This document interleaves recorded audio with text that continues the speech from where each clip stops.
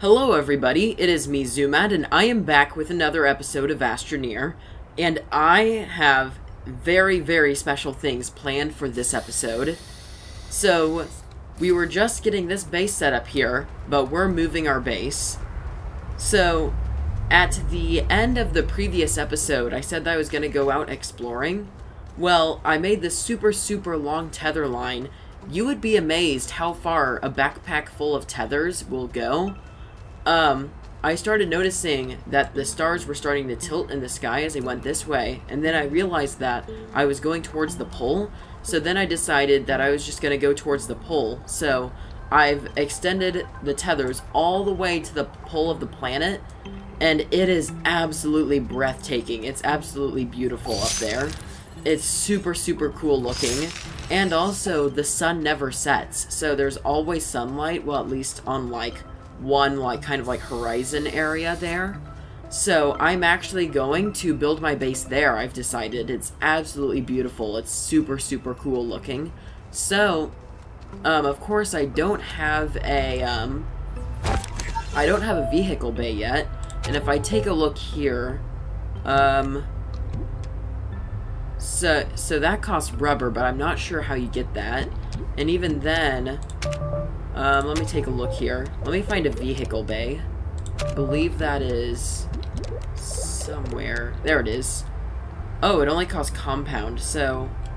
Um, I may end up later on in the future. I'm going to definitely get, like, rovers and stuff like that. But right now, I don't really... Um, right now, um... Well, there isn't really a point in getting a rover. I was planning on getting a rover to transport my stuff there, but then I realized that everything is already on platforms and stuff, and there isn't actually much of a point uh, to get a rover, you know? So I'm going to carry this down. I'm going to get some materials that I will need to take with me. So let's see here. I'm going to, um, so I'm going to sort everything between what I need and what I don't. Um, I feel like resin would be helpful so, we're just gonna take some. Um, I don't see how graphite will be useful. I'm not sure what titanite is for. So, later on I will end up, um, I guess coming back for all this stuff at, on the other day. But, I feel like that's just everything we're gonna need right now. Okay guys, so I was just now at that hole and I sorted through it and all of the, I guess, like the more rare materials in there, um, I'm going to leave behind. I'm not, I'm not really thinking I'm going to be using those anytime soon, but later on I will go on a trip back here to grab another platform and a bunch of those materials. But yeah, we're going to begin our journey to the pole of the planet. So I'm going to, um, let me unhook everything first. Um, I'm going to grab this, um, this platform here with our fabricator just because that's what we need to make platforms. So figured that would be best to take with us. But there's also some compound over here. I have three more storage slots and I figured some compound would be helpful for setting out tethers and making platforms. So I'm just going to gather up the last bit I can get. I think this is it here. Yep. Um, let me take a look Yep, everything is full. Now, I don't actually really see a point in bringing both canisters, but you know what? I'll bring both soil canisters anyway. So, I'm going to grab this platform, and now we're going to carry it all the way down to the pole.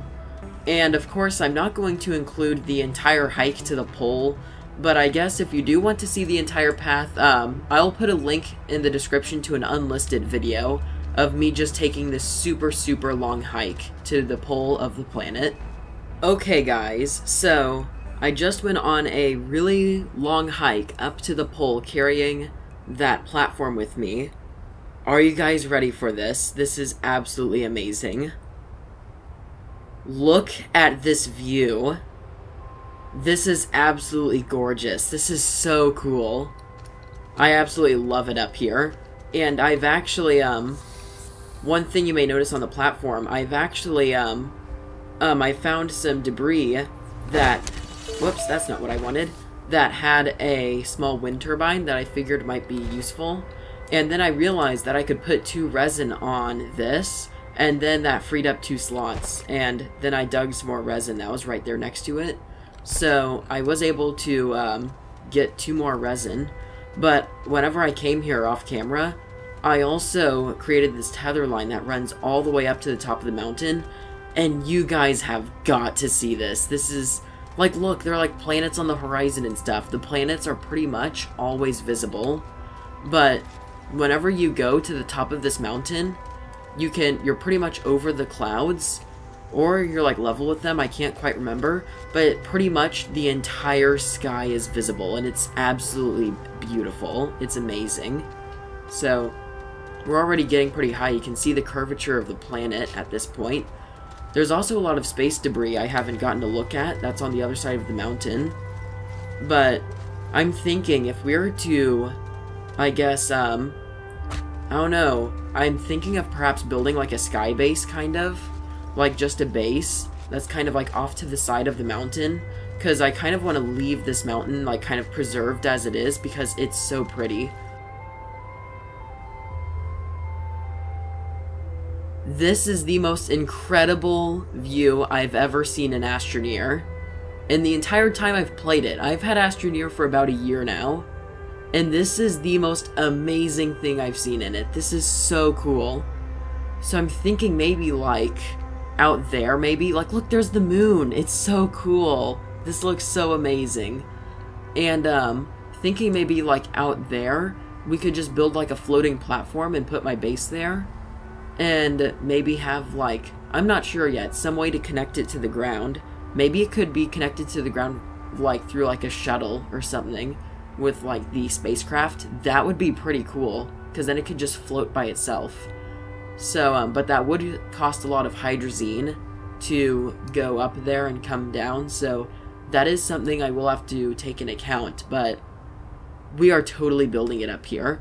And one plus is if we build it really high, um, the sun will always be shining. So we can definitely have some solar panels going 24 7 which is super nice, which is also really convenient because right now, because I don't have like that habitat that you start out with, I don't have um, I don't have guaranteed power right now, and I don't have batteries or anything. So whenever those solar panels on that platform I carried with me stop receiving power, that's it. You know, I don't have any power.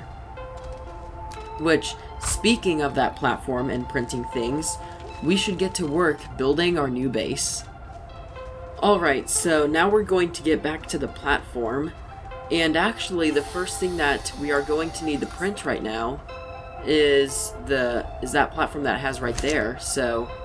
Oh, we don't have power. Well, the sun is just being visible there. Oh, yikes.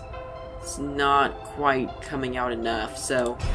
We're gonna grab this platform, and we're going to move it over here where the sun is shining until those panels start picking up the sunlight.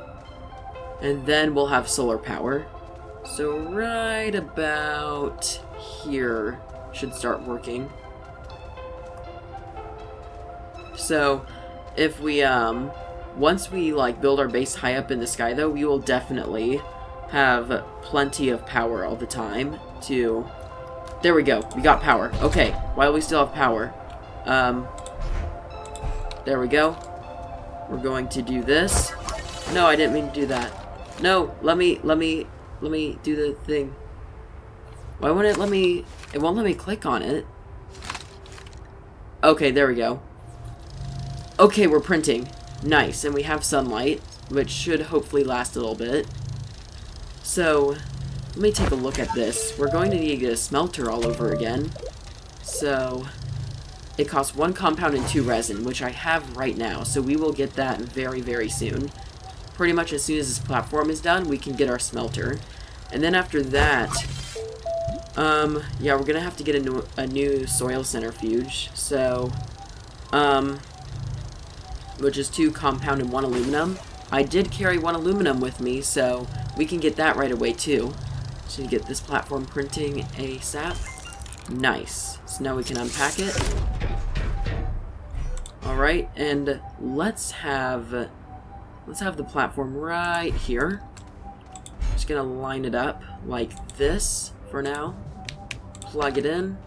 And now, if I examine this, let's get a... Ooh, a research chamber is important, but let's get the smelting furnace first. Just so that we can... Oh no, we lost solar power. Ooh, let's see if this has solar power still. I'm afraid not. You know, while we have this platform, I should also attach this so that if it ever gets windy, we can get power. But yeah, that does appear to be an issue, but once we start building up high, because you can see it's the curvature of the planet that's the issue, that's like getting in the way of the sunlight, because you can see right here there's a shadow up on the mountain, so if like we're up high there, or higher up than the mountain, we're to be in like that sunlight area, we won't be in the shade. So I guess we just need to wait for the sun to rise again. Alright, so I think I just missed recording it, but there is a storm blowing through right now, and this wind generator was actually uh, making the smelter. You can see it's actually printed a little more um, while the storm has been blowing by. So it looks like the storm is almost over. Yeah, the storm has cleared out now.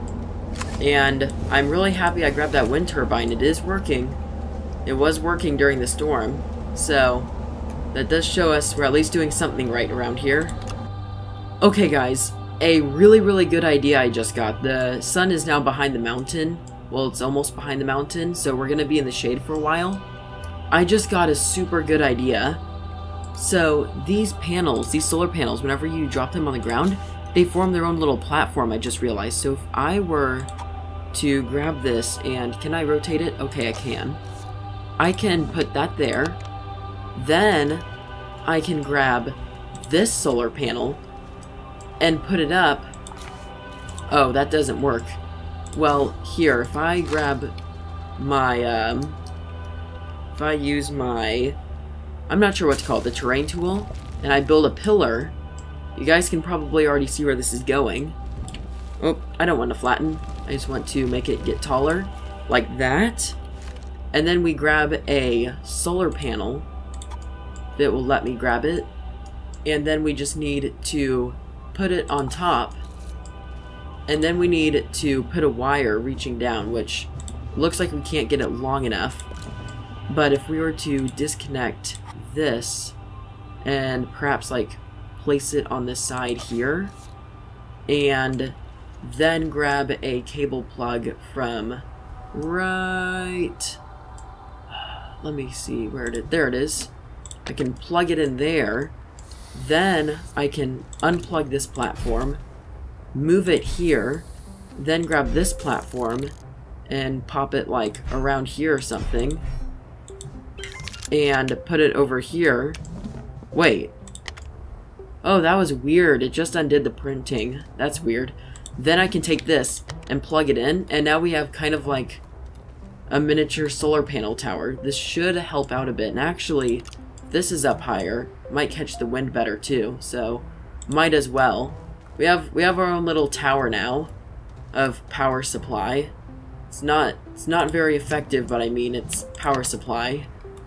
So this will probably give us just maybe like I don't even know how much longer we will have power, but because it is higher, um, the sun will hit it sooner when it starts emerging from the horizon. So that is a plus.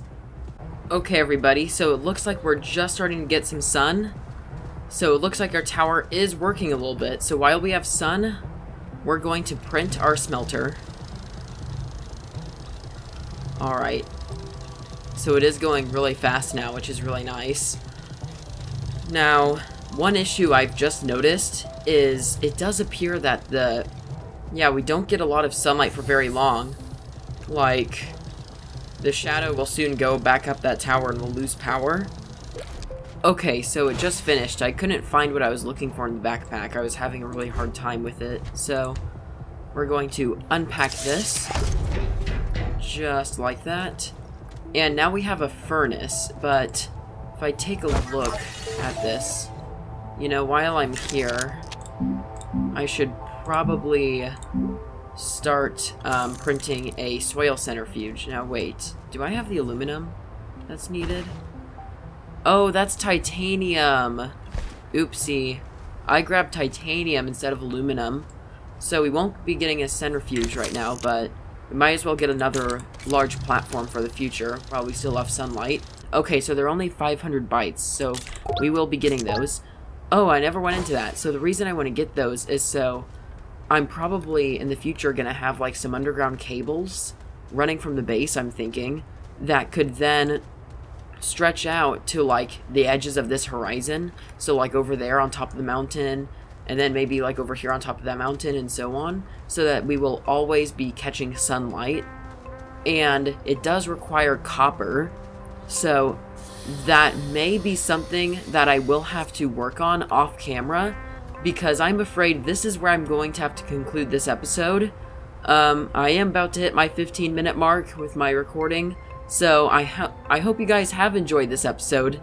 I hope you guys found this area really pretty. Um, if you didn't, well, uh, that's too bad because I'm going to be building my base here for the rest of the season. But until next time, I will see you guys later. Bye!